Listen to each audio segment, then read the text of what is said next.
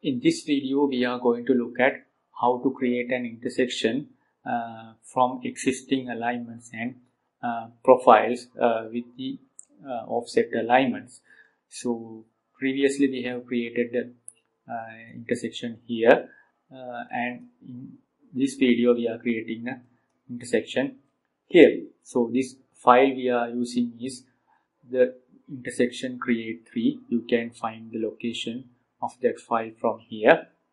So as I told you earlier in the video series you can uh, check the description uh, for other videos related to this intersection creation and editing intersection.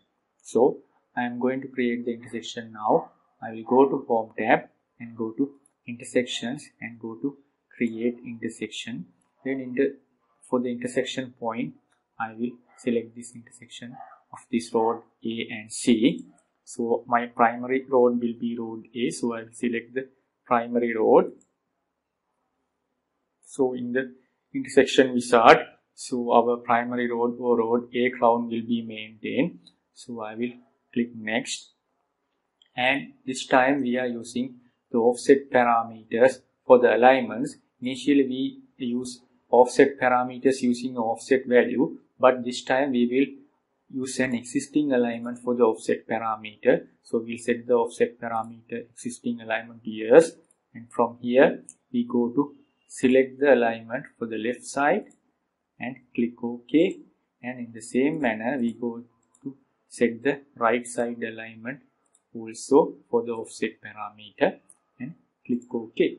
So then we create new offset for starting and end profiles.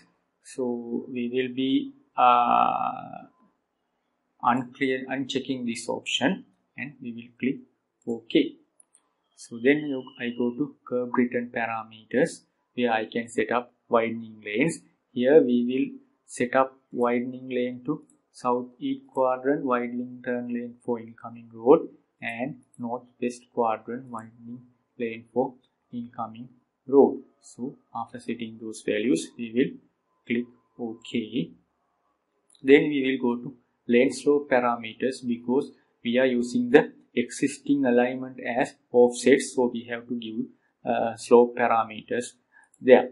So for the existing profile on the left side we will use years and we will uh, use the road A minus minus 2 percent 1 for the left parameter and road B uh, for the right side you will use this one. So if you check the alignment and profile views in the drawing you can see these values are these profiles are set in this drawing. So I will click OK now.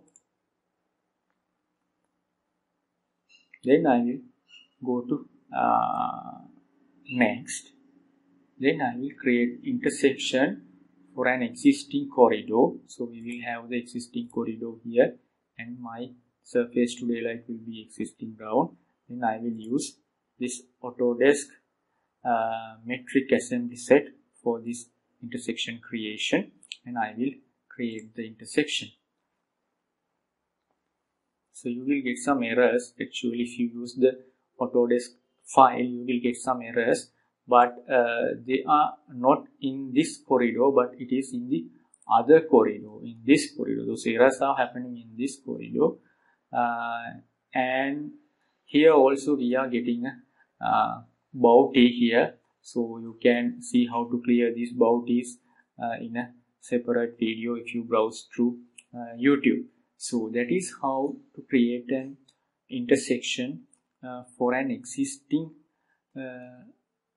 road or existing offset alignments. So far we used, uh, in the earlier tutorials we used the offset values, we manually entered the offset values, but in this case we used our offset alignments and offset profiles uh, by default in the, not actually uh, uh offset profiles which was in the drawing already. So this is how to create intersections using uh, intersection wizard in Civil 3D. In the next tutorials, we will see how to edit these intersections, how to edit the corridor, how to edit the alignment, how to edit the vertical profile in uh, Civil 3D intersections.